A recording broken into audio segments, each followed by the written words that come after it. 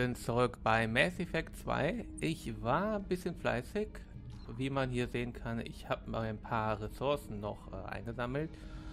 Deswegen möchte ich mal schauen. Ich meine mich zu erinnern, dass Platin sehr gefragt war. Konnte man die Forschungen, konnte man hier oben nicht machen. Aber ich wollte auch noch hier kurz an den Spind. Ich wollte nämlich was anschauen.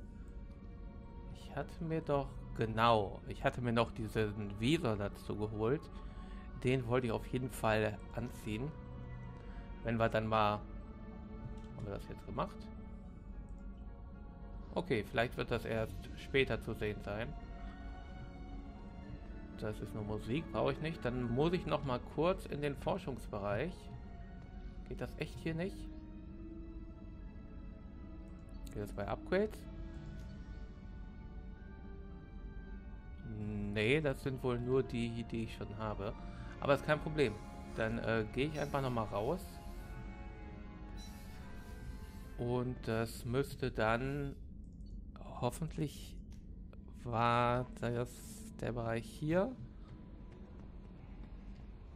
Wenn nicht, dann äh, ja genau auf der anderen Seite, glaube ich. Waffenkammer laufen wir jetzt einfach durch. Das werde ich mir vielleicht irgendwann merken können. Und hier schauen wir nochmal Schiffsverbesserungen. Da wollte ich nämlich als erstes mal reinschauen. Das ist das dann, dass ich darauf, dass ich jetzt erforsche?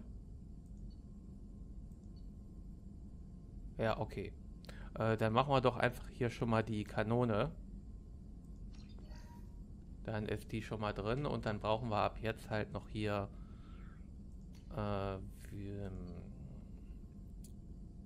das brauche ich nicht unbedingt, denke ich mal. Aber wir brauchen 15.000 Palladium, da haben wir 13.000 und äh, Iridium. Ja, wenn wir, also das System hier ist jetzt eigentlich äh, abgegrast. Ich wollte aber noch einmal ganz kurz eigentlich auf Omega, denn da hatten wir noch eine Kleinigkeit zu machen. Deswegen fliegen wir hier nochmal hin. Da sieht man noch, ich war bei Bindur, das war der letzte Planet, den ich mir nochmal äh, angeschaut hatte. Ich habe, glaube ich, nochmal so ungefähr 20 Sonnen verschossen. Ist jetzt relativ leer, aber ein paar Ressourcen habe ich halt bekommen. Und warum ich nochmal nach Omega wollte, war, da ich ja bei der Befreiung von Archangel ein Datenpad gefunden hatte. Und das wird eventuell Aria interessieren. Ich weiß nicht, ob das irgendwann später wichtig sein wird, aber es kann natürlich nicht schaden, wenn wir in ihr eine Freundin haben. Sie hat ja ganz am Anfang beim ersten Treffen gesagt, wenn man eins nicht haben will, dann ist es sie als Feindin haben. Und ja, schauen wir mal. Und danach äh, habe ich dann eigentlich vor, zur Citadel zu reisen. So, ich möchte auf jeden Fall Garus mal mitnehmen.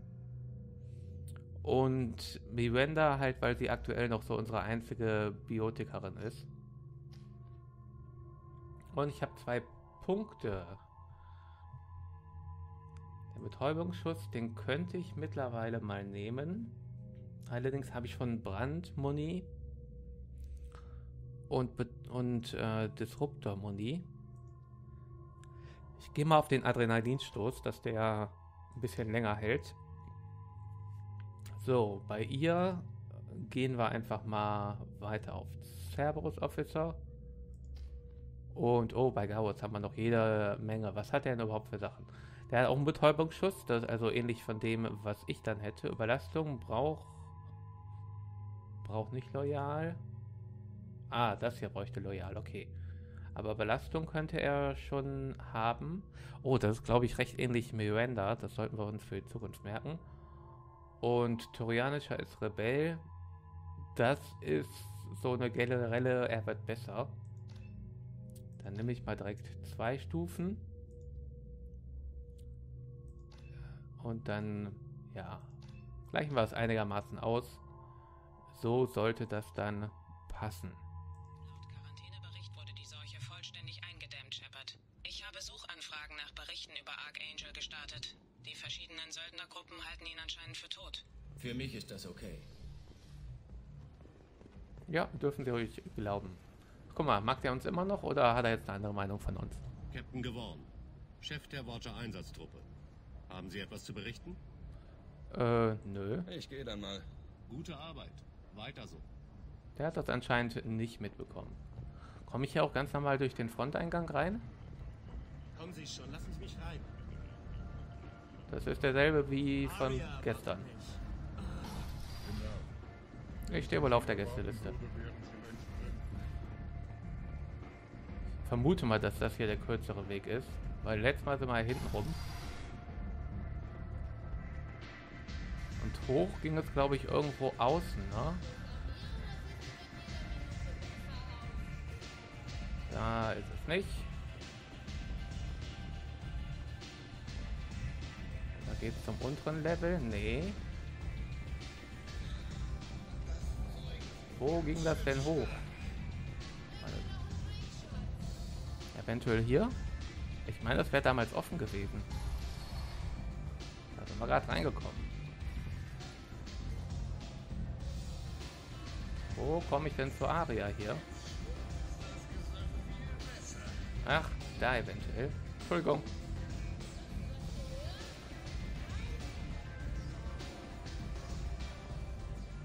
Oh, das sind dieselben wie vorhin.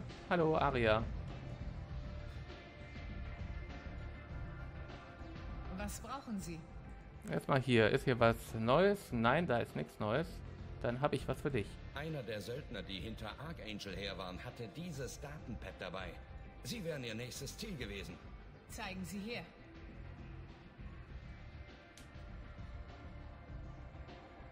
Interessant. Würde mir wohl jemand erklären, wie uns diese Information durchs Netz rutschen konnte? Ich, ich gehe der Sache nach. Danke für die Information, Shepard. Ich werde wohl in meiner Organisation ein wenig aufräumen müssen. Ja, das könnte nicht schaden. Aber trotzdem hast du keine neuen Sachen für mich. Danke. Vielleicht komme ich später wieder. Bis dann, Soldat. Gut, 40 Erfahrung. Ihr lauft hier lustig hin und her.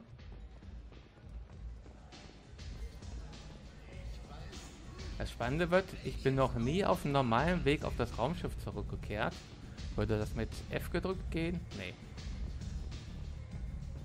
Dann gehen wir halt ganz normal zum Schiff zurück. Vermute ich mal, dass das so klappen wird.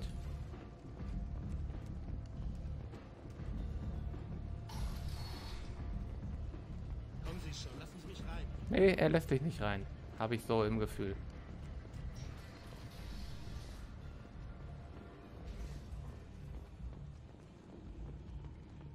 Dockbereich. Auf die Normandy, bitte.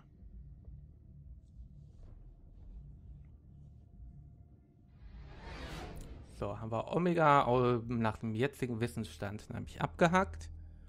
Und das heißt, ich wollte auf die Citadel, weil dort halt äh, Anderson mal mit uns sprechen wollte. Und bevor wir dann die weiteren Gruppenmitglieder, die im Dossier noch vorhanden sind vom Unbekannten, bevor wir uns die anschauen, will ich dann doch einfach da mal vorbeischauen und schauen, was Sache ist. So, das wird jetzt spannend. Ich bin noch nicht rausgereist aus dem System hier. Äh, ich vom könnte mir vorstellen, dass ich hier zum Portal möchte. Ah, oh.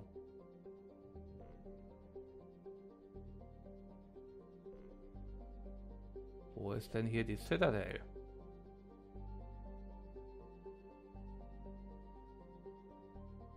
Ah, hier, guck mal, da steht's dabei. Citadel.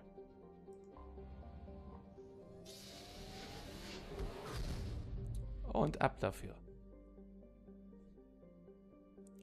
So, und dann bitte hier hin.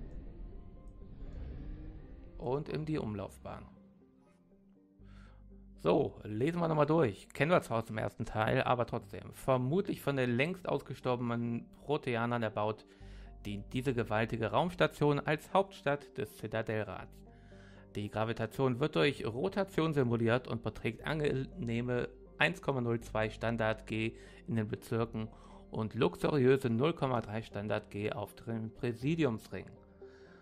Insgesamt gibt es 13,2 Millionen Lebewesen.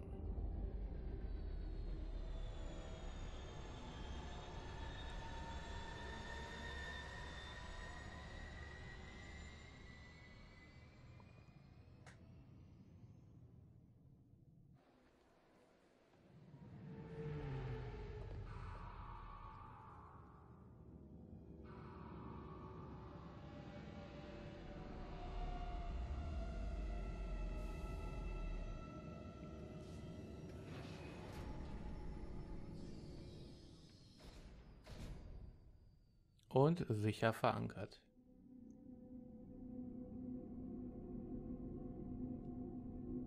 Ja, cool bleiben. Glo äh, globale Abklingzeit heißt das in anderen Spielen, die ich teilweise auch spiele.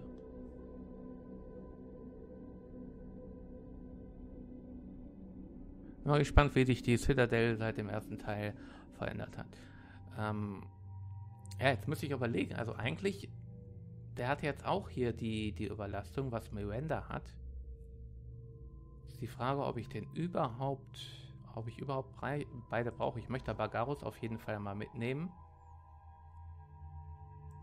Komm, nehmen wir die beiden mal mit. Naja, Jacob hat auch noch ein paar Punkte zu vergeben. Das mache ich jetzt mal manuell, weil ich ein paar Mal nicht mit dem unterwegs war.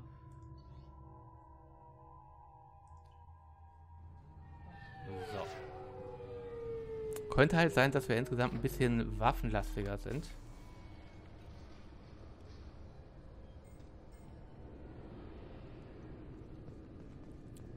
So, dann schauen wir uns erstmal an. Also hier sind wir mit dem Shuttle angekommen. Äh, Rapid Transit gibt es weiterhin. Die Keeper sind auch noch da. Den hat man es damals wohl nicht zum Vorwurf gemacht. Das Rekruten ist ein 20 Kilo Eisenprojektil. Fühlen Sie mal, wie schwer es ist. Alle 5 Sekunden beschleunigt das Hauptgeschütz eines Schlachtschiffs der Everest-Klasse auf 1 bis 1,3 Prozent der Lichtgeschwindigkeit. Es trifft mit der Gewalt einer 38 Kilotonnen Bombe auf. Das ist dreimal so viel, wie auf Hiroshima abgeworfen wurde, damals auf der Erde. Das bedeutet, Sir Isaac Newton ist der tödlichste Bastard im ganzen Weltraum.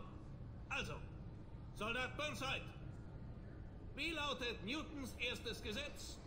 Sir, ein Objekt in Bewegung bleibt auch in Bewegung, Sir. Für Teilantworten gibt's kein Lob, Sie Made. Sir, außer eine andere Kraft wirkt darauf ein, Sir. Geht doch! Ich nehme mal an, selbst ungebildete Esel wie Sie wissen, dass der Weltraum ziemlich leer ist. Sobald Sie diesen Metallhaufen abschießen, fliegt er so lange weiter, bis er irgendwas trifft.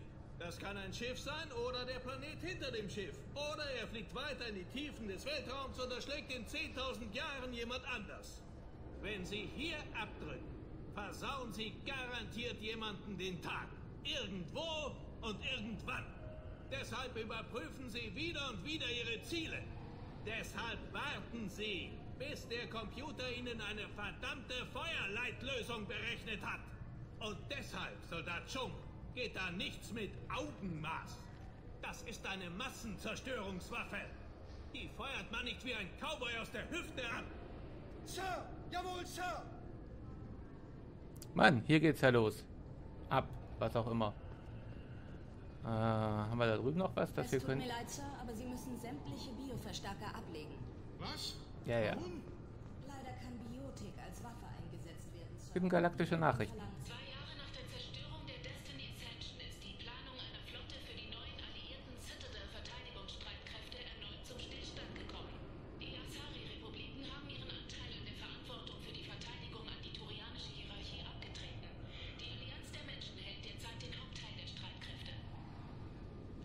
Na gut. So, wo kann ich mich hier anmelden? Oh, erstmal kann ich mit Garus reden. Über die Citadel. Ich hatte gedacht, es wäre vielleicht nett, zurückzukehren und zu sehen, was sich alles verändert hat. Aber es ist genau wie früher. Schmutzige Straßen, skrupellose Aasgeier, Gefängnisse mit Drehtüren. Hier für Sicherheit zu sorgen, ist ein Scheißjob. Genau deshalb bin ich auch gegangen. Naja, aber diesmal bist du ja quasi, ja, privat kann man nicht unbedingt sagen. Aber zumindest musst du hier nicht mehr für Sicherheit sorgen. Obwohl deine Kollegen fast aussehen wie du. Kann ich Ihnen helfen, Sir? Äh, ist die Sicherheit streng? Es ist schon ein paar Jahre her, seit ich das letzte Mal hier war. Die Sicherheit scheint strenger gehandhabt zu werden. Nach dem Angriff der Geth wurde das Sicherheitsprotokoll überarbeitet. Es gab kleinere Veränderungen, um das Risiko einer Infiltration durch die Geth zu minimieren. Wir bedauern die Unannehmlichkeiten. Man sollte meinen, ein Geth würde auffallen. Annahmen sind gefährlich. Wachsam sein, sicher sein. Na gut. Danke für Ihre Zeit. Der nächste. Na gut, dann gehen wir mal hier rein. Guten Tag. Was ist denn hier hinter der Tür? Irgendwelche, die einem zuschauen. Dachte mir schon, dass Sie wegen unserer Waffen was sagen würden. Ausschalten. Was? Glauben Sie ernsthaft? Ja, okay. Verzeihen Sie die Unannehmlichkeit, Sir. Unsere Scanner zeigen falsche Werte an. Sie scheinen zu glauben, Sie wären äh, tot. Ähm, das könnte auch hinkommen. Ich war nur fast tot. Aber versuchen Sie mal, das auf Regierungsformularen zum Ankreuzen zu finden. Hey, wir müssen das für Sie in Ordnung bringen. Warum reden Sie nicht mit meinem Captain? Der steht direkt hinter den Scannern, auf der rechten Seite. Okay. Ich nehme das mal als ein Geh durch. Sie müssen ihn schon ein bisschen zum Schreien bringen. Er wird Ihnen nichts erzählen, solange Sie nur fragen. Ich weiß, Sir. Wenn Ihnen das auf den Magen schlägt oder Sie Angst davor haben, gemeldet zu werden, kann ich mich darum kümmern. Nein, Sir. Ich werde schon damit fertig. Mhm. Äh, guten Tag, ich bin tot. Ja? Ich sehe das Problem schon, Commander Shepard. Meine Konsole behauptet, Sie wären tot. Ähm, kann ich beweisen, dass ich ich bin? Befürchten Sie nicht, dass ich ein Schwindler bin und meine Identität nur vortäusche? Wir haben die besten Scanner der ganzen Galaxie. Uns reicht für einen DNS-Test eine Hautschuppe. Verdammt. Wenn Sie unregistrierte Genmodifikationen haben, finden die sogar das raus. Okay, ähm, wie kriegen wir es dann am schnellsten hin? Ihr Sergeant sagte, Sie könnten mir da behilflich sein. Normalerweise müssten Sie zunächst von der Sicherheitsverwaltung der Station Ihre IDs reaktivieren lassen. Dann zum Zoll und zur Einwanderungsbehörde, um die Citadel betreten zu dürfen. Anschließend vermutlich ein Ausflug zum Finanzamt. Ein Jahr tot ist eine beliebte Ausrede bei Steuerflüchtigen. Also. Aber wie ich sehe, sind Sie ein vielbeschäftigter Mann. Was halten Sie davon, wenn ich einfach diesen Knopf hier drücke und wir betrachten die Sache als erledigt? Ähm, darfst du es? Könnte nicht einer von uns oder sogar beide dafür ziemlichen Ärger bekommen? Die DNS-Scanner in dem Tunnel lassen sich nicht täuschen. Sie sind Sie. Warum in langen Schlangen warten und Unmengen nutzlosen Papierkram ausfüllen, um zum selben Ergebnis zu gelangen? Der Rat macht alles strikt nach Vorschrift. Es hat Jahrtausende gedauert, um das alles niederzuschreiben. Manchmal muss man einfach auch mal was ohne Ratsbeschluss erledigen. Okay, dann, äh, zwar unkonventionell, aber machen wir. Mit Formalitäten haben Sie es nicht so, was? Doch, absolut. Solange Sie niemanden davon abhalten, seine Arbeit zu machen. So, ich habe Ihnen soeben etwa neun Tage Rennerei erspart. In Anbetracht dessen sollten Sie nun im Präsidium bekannt geben, dass Sie noch am Leben sind. Der Rat will vermutlich mit der Person reden, der Sie Ihre Jobs verdanken. Okay, äh, wo geht's da lang? Wie kommt man am leichtesten von hier unten ins Präsidium? Durch den Sicherheitskontrollpunkt und dann mit einem öffentlichen Shuttle. Okay. Danke. Zugang zum Rat und den Ressourcen der Spectres wäre hilfreich. Ja, der Rat kriegt alles.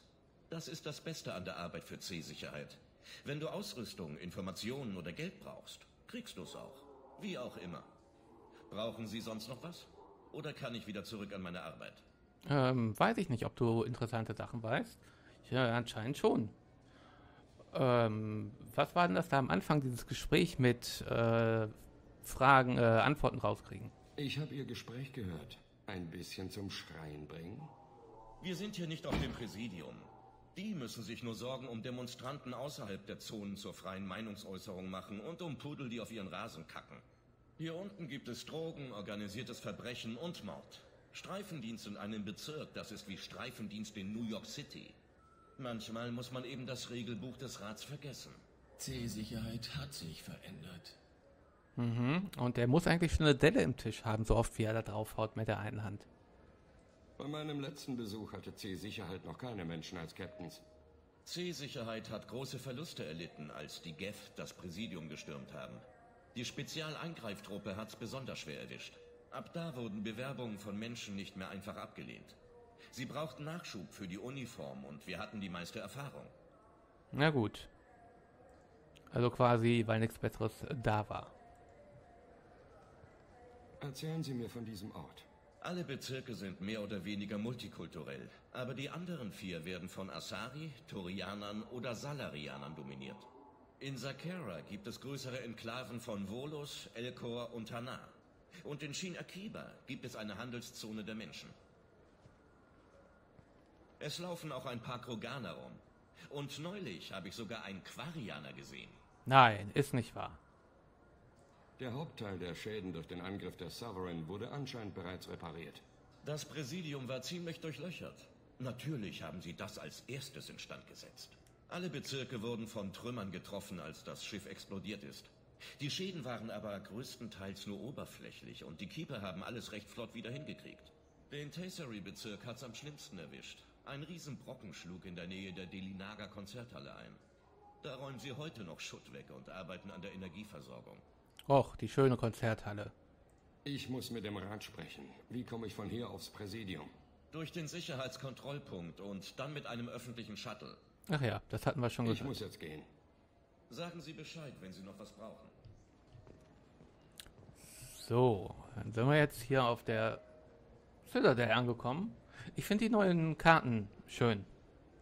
Und äh, dann würde ich mal sagen, dass wir uns wahrscheinlich in der nächsten Folge hier ganz in Ruhe umsau äh, umsauen, umsehen werden. Und mal schauen, was man hier so alles bekommen kann. Von daher sage ich erstmal bis dann.